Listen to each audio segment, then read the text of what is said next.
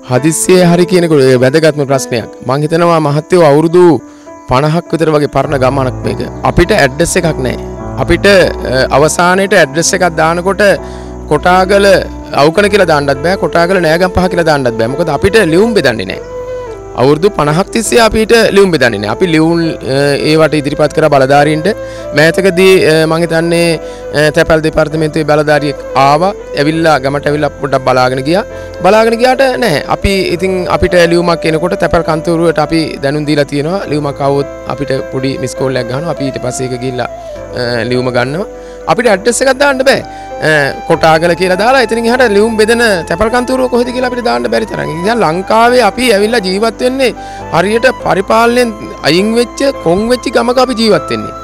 ඒක තමයි අපිට තියෙන ලොකුම ඛේදවාචකේ. හරියට අපි අතෑරලා ඉන්නේ. පාලකයෝ විසින් අතෑරපු ගම්මානයක අ, අපි ජීවත් වෙනවා. ඇඩ්‍රස් එකක් නැති මිනිස්සු අපි. ඕක තමයි අ, මං හිතන්නේ අපිට සලකලා තියෙන විදිය. මේ ගමේ අ, මං හිතනවා යන්න මංමාවත් නැහැ. වල්ලලින්ගෙන් ගහන වෙලා තියෙනවා. දවල් ඉඳලා මේකේ වල්ලලි ලගින ගම්මානයක් වෙලා තියෙනවා. පාලමක් අපිට නැහැ. මෙතනින් එහා පැත්තේ අවුකන ගමට යනකොට අපිට අ, කිලෝමීටරයක් දුර මෙහෙන් යන්න බෑ රේල් පාර හරස් වෙලා තියෙන නිසා අපි කිලෝමීටර් 4ක් විතර වගේ වටරවුමකින් යන්න වෙලා තියෙනවා. දේශපාලඥ නායකයන්ට කිව්වා නිලධාරීන්ට කිව්වා කිසිම කෙනෙකුගෙන් අපිට අ, මේකට මේ වෙනකම් විසඳුමක් ලැබිලා නැහැ. පාලම් දෙනවා කියලා අපිට දෙතුන් වතාවක් අපිට බලාපොරොත්තු දුන්නා. අපි ඒවට සූදානම් වුණා.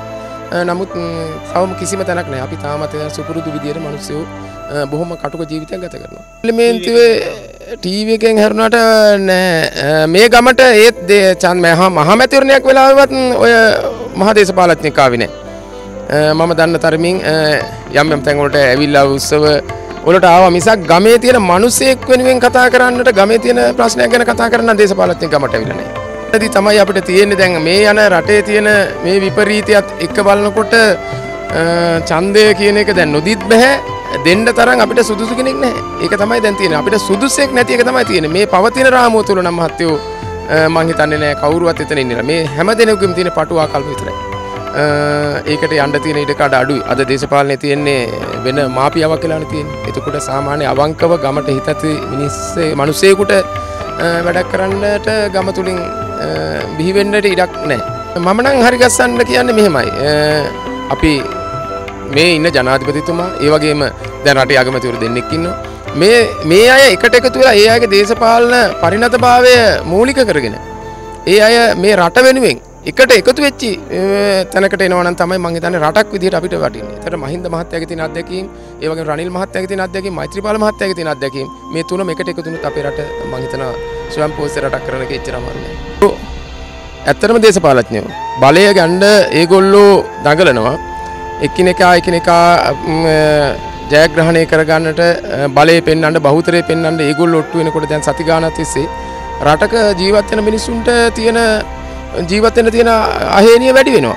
ඉතින් මිනිස්සු ගැන හිතන්නේ නැහැ. ඒගොල්ලෝ ඒගොල්ලොන්ගේ බහුතරය ගැන හිතන සමාජයක් තමයි රටේ දැන් තියෙන්නේ. ඒක නිසා ඇත්තටම දේශපාලඥයෝ තමයි ඒ, මේ තැනට වග කියන්න වෙන්නේ. දේශපාලඥයෝ අතින් වෙන්නට තියෙන අ, කාරණයක් තමයි මෙතනදී තියෙන මම ඒක විශේෂයෙන්ම කියන්නට ඕනේ.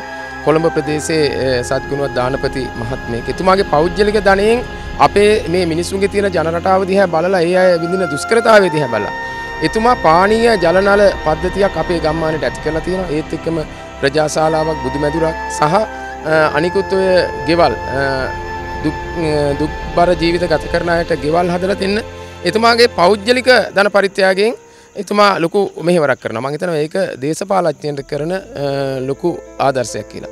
අපි අපි කතා කරන්නේ එතුමාට මధుර සර් කියලා කියන්නේ. අ, මං හිතනවා අ, මේ ගමේ විතරක් නෙමෙයි අහල හැම ගම්මානයකම මං හිතනවා එතුමා සදානුස්මරණීය චරිතයක් විදිහට අනිවාර්යෙන් පත් වෙවි.